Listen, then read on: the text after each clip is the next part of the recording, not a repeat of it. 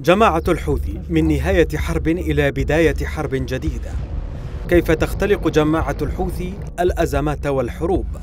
أعلنت شركة الاتصالات الدولية سيكوم عن خلل في بنيتها التحتية بالبحر الأحمر مما أثر على نظام الكابلات في أفريقيا وهو ما عطل تدفق المعلومات بين أفريقيا وأوروبا بشكل صحيح.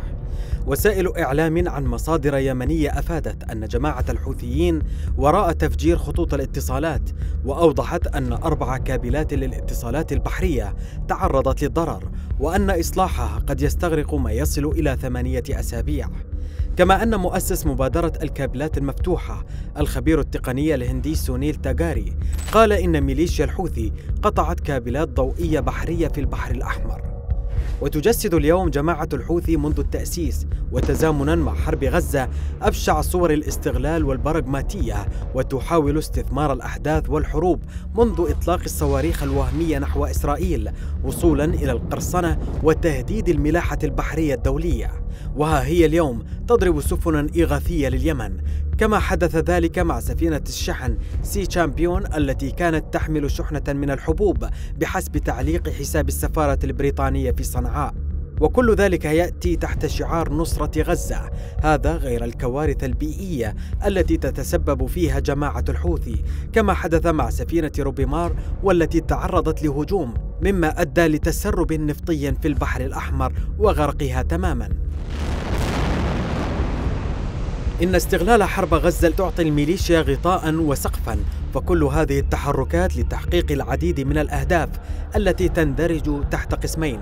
القسم الأول أهداف خارجية تنفيذا لأجندة طهران في إدخال المنطقة بسلسلة من الحروب دون توقف وتوسيع دائرة الصراع والحرب في محاولة لخلط الأوراق.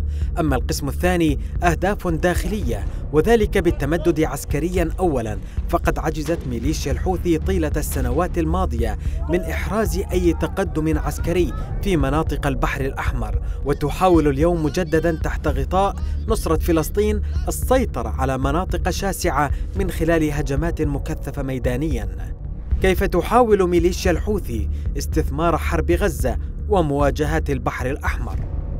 في تصريح خاص لأخبار الآن يقول رئيس عمليات اللواء الرابع العمالقة المقدم هاني الكلدي استغل الحوثي أحداث غزة لأجل حشد المقاتلين إلى الجبهات وخاصة بيحان والساحل الغربي تحديدا جبهة سقم.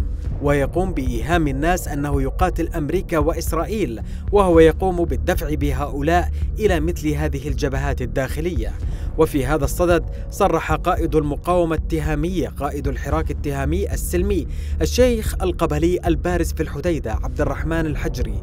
لأخبار الآن قال بأنه لا بد أن ندرك أن من يمارس القتل والتهجير والتدمير والتفجير في حق الشعب اليمني ومن يحاصر المدن ويقطع الطرقات ويزرع الألغام في البحر وفي البر أيضا وفي مسالك الناس ومزارعهم ومنازلهم. لن يكون في قاموسه نصرة غزة. بل يحاول تبييض سجل جرائمه بهكذا أحداث وحروب. وكما سبق الإشارة فقد حاولت الميليشيا تكثيف الهجمات على مديرية بيحان بمحافظة شبوة وقال الشيخ القبلي محمد الفاطمي والذي يشغل أيضا مدير عام مديرية بيحان في تصريح لأخبار الآن أن قوات العمالقة الجنوبية ودفاع شبوة أفشلت العديد من محاولات اختراق الجبهات الحكومية ما جعل جماعة الحوثي تلجأ لأعمال خسيسة وجبانة باستهداف منازل ومزارع المواطنين وتكثيف زراعة الألغام. تجنيد الأطفال. تستثمر جماعة الحوثي أحداث غزة للتسويق لذاتها محلياً حيث تقوم بعمليات استقطاب وخاصة للشباب المراهق والأطفال غير الواعين وحشوهم بالأفكار الطائفية وتجنيدهم مستغلة حالة الموقف اليمني المتضامن مع غزة. وافتتحت الميليشيا معسكرات تدريب وتطويع بحسب منظمات حقوقية فإن أعمار المجندين تتراوح بين 13 عاما و15 عاما. ازدواجية الحوثي بين حصار تعز وغزة. منذ عام 2015 فرض الحوثيون حصارا مطبقا على مدينة تعز التي يقطنها نحو ستة ملايين إنسان. ولا يزال الحصار مفروضا على المدينة في ظل مزاعم الجماعة أن عملياتها في البحر الأحمر مرتبطة بإنهاء الحصار الإسرائيلي على غزة. ويكشف ذلك تناقض وازدواجية المعايير في الموقف الإنساني ما بين تعز وغزة.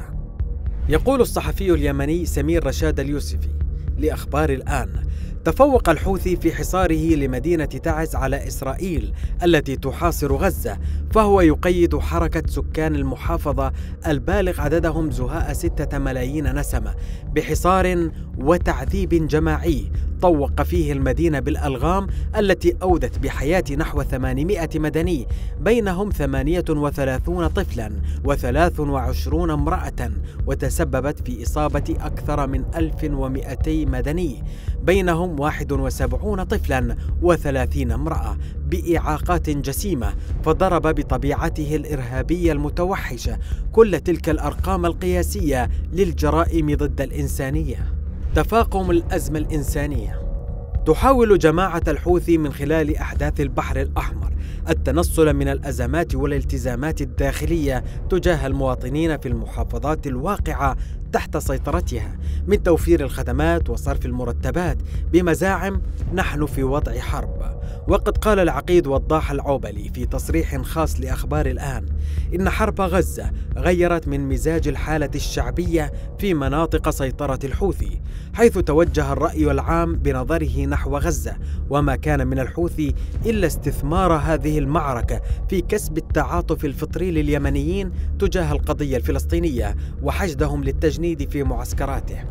وختاما ترنو جماعة الحوثي من استغلال الأحداث في غزة إلى ترميم صورتها المتهالكة محليا وخارجيا أولا لحصد أكبر موقف داعم لأعمال الجماعة الإرهابية وتستخدم ذلك تحت ذريعة نصرة فلسطين غطاء لجرائم الجماعة محليا.